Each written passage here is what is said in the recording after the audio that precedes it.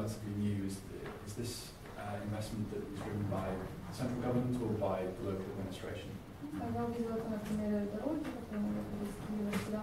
Это были инвестиции, которые были пролоббированы местными властями, либо центральными. Это чисто центральная власть, это кредит Евробанка, я детали не знаю, но это делалось центральными, это дорога международная, и делалось чисто через центральную исполнительную власть,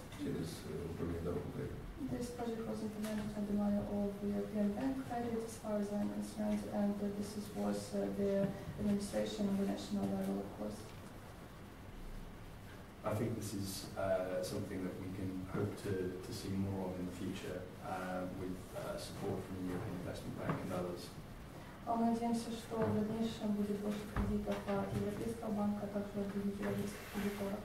Буквально несколько дней тому назад прозвучало по телевидению, что Европейский дал, банк дал на дороге кредит 200 миллионов евро, вот буквально 3-4 дня тому назад.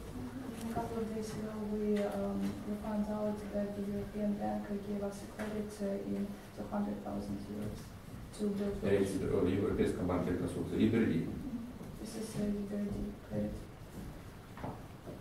It sounds, it sounds very promising. And you, you say that the, uh, the general attitude of the population here is still very much pro-Europe and still uh, very much looking forward to further engagement with, with Europe. Is that correct?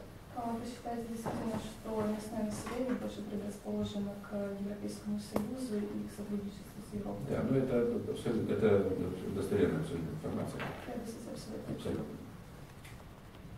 Ну, я не делал специальных замеров, я думаю, может быть, какие-то э, делали общественные организации, но по моему ощущению, думаю, процентов 90 людей за Евросоюз. Это абсолютно э, просчитывается на всех встречах. Ну, и так это и было и раньше, и сейчас, и не менялось эта позиция. Of course, I haven't conducted any opinion polls, but uh, I really truly believe that uh, around 100% of the citizens are for European Union, and uh, this has been this way always. Советская власть на этой территории была намного меньше, чем на всех остальных территориях. Uh, Soviet Union um, this uh, influence here. This is happened historically. And perhaps one, one final question from me, if I could. Uh, there, there is clearly um, an issue that needs to be addressed around uh, corruption, um, and I wonder what you could uh, say about what's being done at a city level uh, to help to address that challenge. И последний вопрос, если позволите, касательно коррупции. Меня интересует, э, что происходит на местном уровне, для того, чтобы побороть эту проблему. Вы знаете, я думаю, э, что ну, общий, э, такой, думаю, общегосударственный тренд, он есть везде. Я не могу, я не, не проводил исследования, где она больше на востоке или на западе, но я думаю, что мы в этом смысле не отличаемся от других регионов. The same. Эта, про- эта проблема действительно есть, она очень серьезная, и она действительно может быть одна из основных, которая мешает э, развитию государства. И потому у нас звучит сейчас э, в речах всех новоизбранных так сказать, э, представителей правительства, что это то, с чем основно надо бороться. Но бороться, вот вчера прозвучала хорошая фраза, я даже не помню, где Ценюк, по-моему, говорит, Дарья Ценюк. Э, до сих пор ведь тоже были разные постановления по борьбе с коррупцией и так далее. Основная проблема, вернее, основной способ побороть коррупцию это сделать так, чтобы ее не было этого места, где эта коррупция возникает. Вот то, что вчера сказал Яценюк, была пресс-конференция.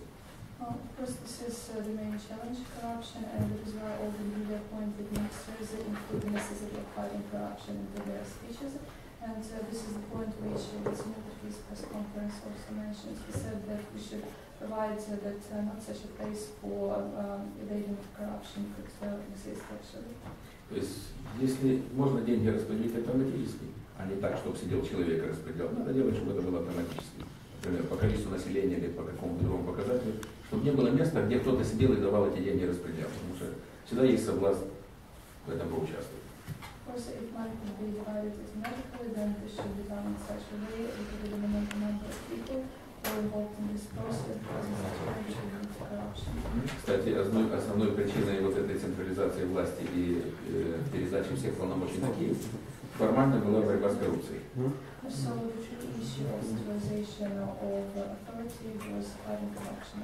Но, как показала практика, э, коррупция в Киеве на порядок, может быть, несколько порядков выше, чем коррупция. Ну, по крайней мере, она не ниже.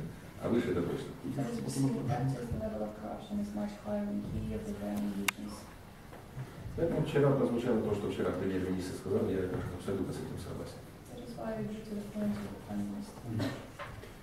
Um, but I think you you touched on precisely the point there, the uh, that decentralisation needs to be managed very carefully to ensure that local administrations um, are prepared um, to tackle corruption at a local level. Ну, кажется, говорить о том, что децентрализацию нужно проводить достаточно осторожно, так как местные власти должны быть готовы к тому, чтобы бороться с коррупцией и не воспринимать ее. Я такого не говорил. Но в этом есть смысл. But it makes sense. В этом есть смысл, безусловно. Э, Ну, все реформы должны быть продуманы, должны быть шаги, которые как бы э, плановые, не спонтанные. Посмотрим.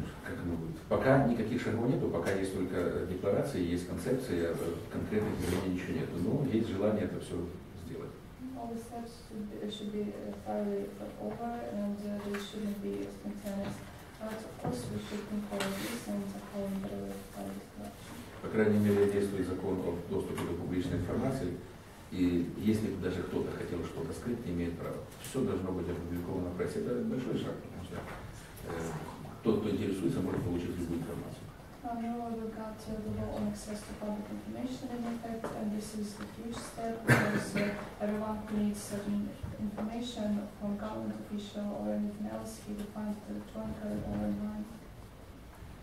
Плюс, э, нравится, не нравится, может, менее не нравится, но тем не менее гражданское общество развивается, э, общественные организации приобретают больше вес, контроль с их стороны э, становится более impacted, but still um, the NGOs are developing and the civil society is strengthening Ukraine, and that is why they are monitoring and strengthening as well on the side.